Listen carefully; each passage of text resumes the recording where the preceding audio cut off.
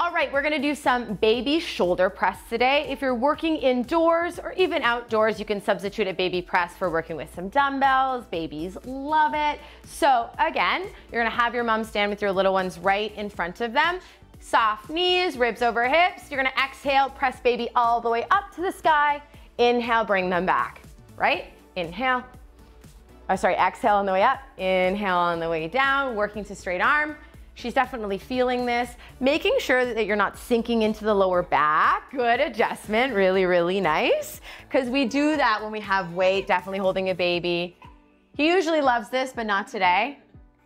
Good, beautiful. She's definitely working her shoulders and her arms. Great job.